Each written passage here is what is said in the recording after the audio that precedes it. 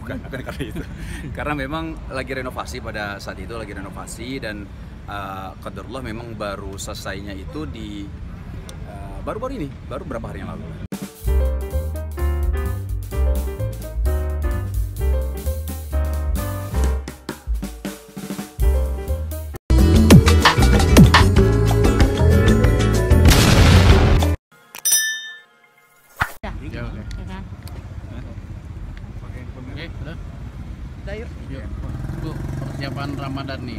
bentar lagi kan Ramadan. Ya. Gimana?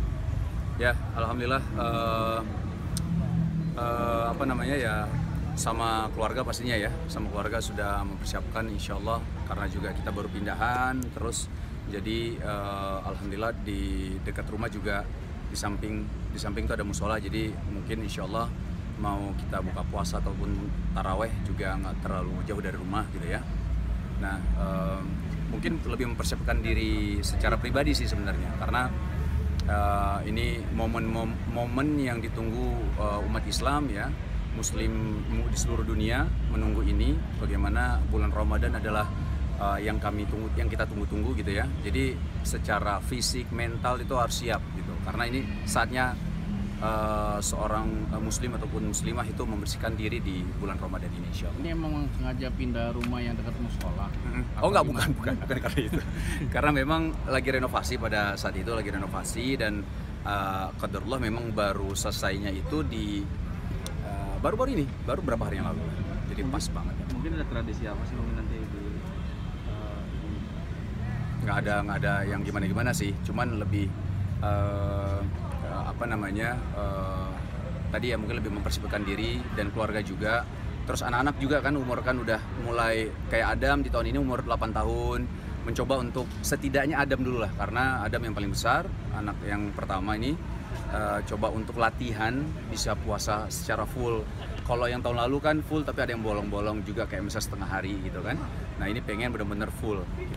Bang, mungkin ada Bang, perbedaan tanya, apalagi kan saat ini kan bulan Ramadannya eh, udah eh, istilahnya corona udah sangat amat menurun Iya, mungkin iya, eksekutif seperti apa dari Bang Wisnu Wah ini kan yang ditunggu-tunggu.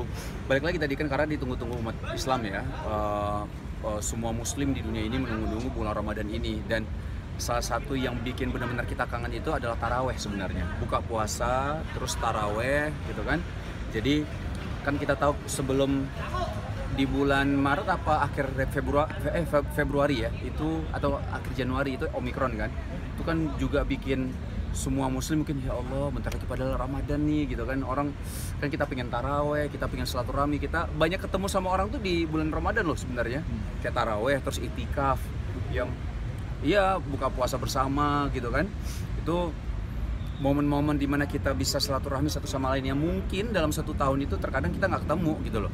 Nah, alhamdulillah di Ramadan mudah-mudahan bisa bertemu, berkumpul dan bisa menambah uh, iman kita mudah-mudahan insya Allah. Bang, mungkin kalau untuk menu puasa yang akan datang ini biasanya mungkin ada nggak sih favorit atau yang selalu sahur. ada gitu Bang? Sahur apa buka puasa? Sahur, buka puasa. Kalau sahur sih nggak nggak banyak yang uh, berat-berat sih ya, maksudnya uh, apa namanya? Tapi memang nggak bisa lepas dari nasi memang kan makan nasi dengan lauknya. Tapi memang uh, cukup jaga agar nggak terlalu berlebihan juga.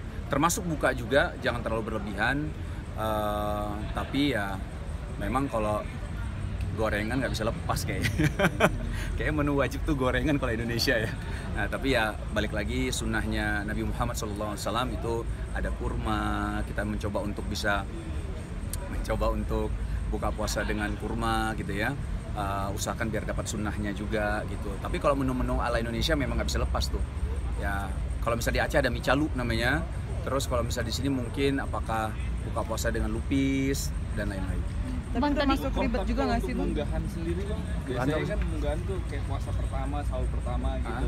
Itu kan biasanya kan sama keluarga? Oh, oh, sama keluarga terus Iya. kayak makanannya harus kayak rendang biasanya orang-orang. Mungkin iya? kalau abang sendiri Enggak, kalau aku enggak ya. yang penting bareng keluarga dulu lah. Bahasanya mungkin ada beberapa jadwal buka puasa bersama sama siapa, tapi kayaknya rata-rata 10 hari pertama atau pekan pertama, setahu saya memang biasanya sama keluarga dulu. Jadi kayak "Eh, bro ini mau eh, ketemu yuk di sini gitu. Aduh sorry ini buka ini eh, satu pekan pertama kayaknya sama keluarga dulu nih biasa kayak gitu.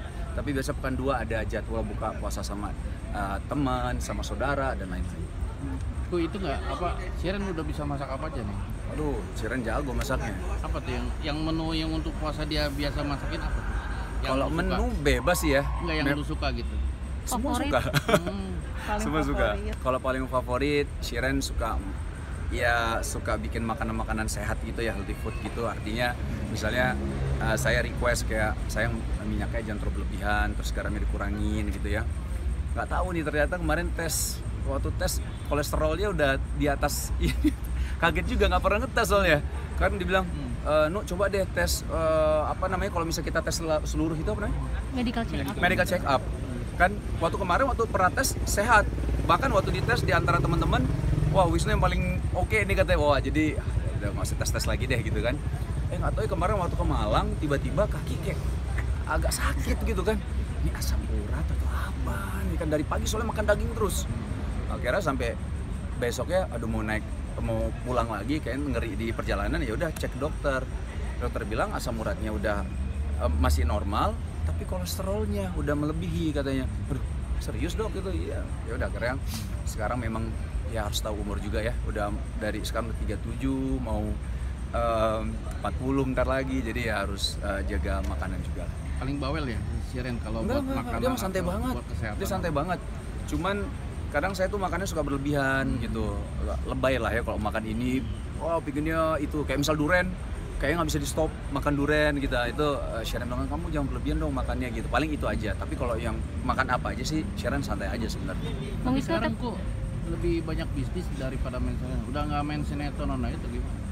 Iya, kayaknya memang eh, ya pilihan sih ya. Kamu kan ada teman-teman yang memilih ini. Ya, kalau saya lebih memilih untuk mengembangkan dan membesarkan bisnis yang saya geluti sekarang ini. Jadi memang harus fokus sih. Kalau nggak fokus, kok nggak kacau juga sih ya. Ya, jadi eh, prioritas lah. Kalau misal mau milih ini atau ini, saya lebih milih untuk besarkan bisnis saya. Tapi terkadang ngerasa kangen juga nggak ya? Ah, Masalah ngerasa kangen Hmm. juga nggak sih? Kan bisa dibilang besar Ya, karena kangen, kangen, kangen. Makanya kita bikin sitkom, web series, ya karena karena kita punya YouTube kan, jadi kita bikin di YouTube aja udah mengobati kekangenan lah. Main sama kru aja udah seneng. Bang Wisnu untuk Ya. Adam sendiri kan udah mulai dilatih puasa full ya rencananya. Insya Allah mudah-mudahan ya, Ada latihan. iming-iming hadiah juga nggak sih kalau misalkan Adam Eh, berhasil? kita nggak pernah iming-iming sih, tapi Biasanya ya. tapi anak-anak. tapi memang kata beberapa ustadz menyampaikan nggak apa-apa. Namanya anak kecil itu kan, namanya anak kecil juga kita tumbuhkan eh, semangatnya. Mau dikasih hadiah nggak ada masalah juga kata waktu itu saya pernah dari dengar dari ustadz. Eh, bahkan kadang-kadang anak-anak itu ya, kayak yang saya lihat, misalnya Adam nih, dikasih hadiah pelukan dari ibunya aja tuh udah seneng banget gitu loh. Jadi kalau menurut saya ya tergantung eh, mau eh, treatmentnya seperti apa artinya eh, mau metodenya nanti dikasih hadiah nggak masalah juga kalau menurut saya kita apalagi masih kecil ya di bawah masih di bawah 10 tahun gitu terus ataupun yang memang eh, dicoba usahakan dan disemangati agar benar-benar walaupun masih enam tahun atau lima tahun dicoba untuk bisa puasa silakan aja gitu. Tapi waktu itu saya umur lima tahun ada malah saya nggak paksakan. Artinya kalau bisa mau puasa alhamdulillah kalau enggak ya kita kasih pengarahan atau kasih motivasi terus untuk Adam bahwa kalau bisa puasa pahalanya besar dan lain-lain. Dia pernah minta sendiri gitu, Adam? apa? Pernah minta sendiri dia mau puasa? Eh, karena dia nanya eh, Abi kok nggak makan? Misalkan makan makan bareng gitu kan. Abi kok nggak makan? gitu. Ya Abi puasa. Oh ada mau puasa juga. Ya ada mau udah makan gimana puasa gitu kan. Ya udah besok ada mau puasa gitu. Jadi eh, memang harus banyak dialog sih sama anak setahu saya gitu ya. Harus banyak dialog sama anak.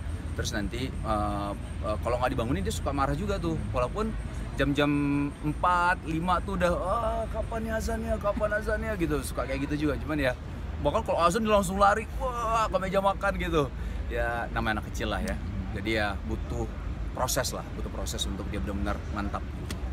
Bang ngomongin soal olahraga mungkin bakal